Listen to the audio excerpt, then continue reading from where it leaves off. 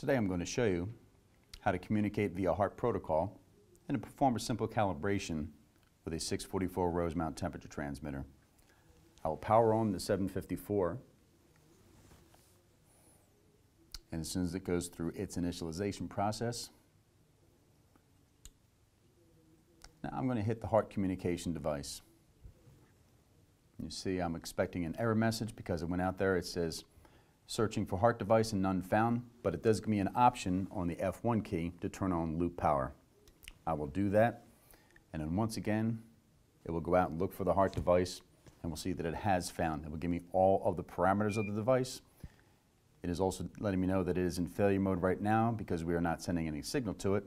So we see that as a temperature transmitter, my lower range value is 0 degrees C. My upper range value, value is 300 degrees C.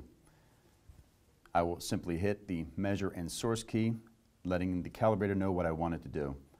So I will shift down to measure milliamp, and I'm going to source to a thermocouple type K. We're going to enter that. We will do an as found. And now what I want it to do? I can do an instrument. If I were doing flow, I can do square root instrument. But since we're just focusing on the temperature calibration, I will select instrument.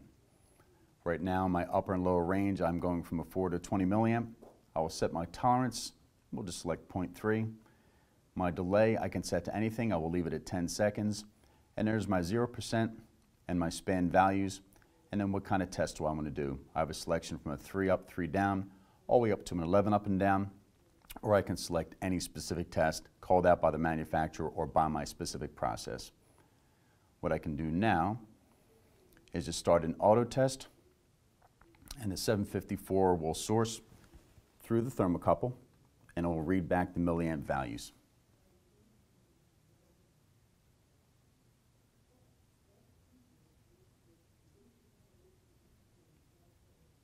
This will take a few seconds because I do have the 10 second delay built into it.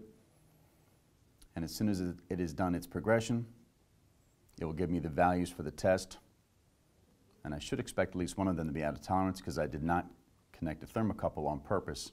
So there I am. I'm at a tolerance with a negative video on the first one, and the last two are in tolerance, so those are in positive video. So this is how you communicate via with a HART device and perform a calibration using the Fluke 754 documenting process calibrator.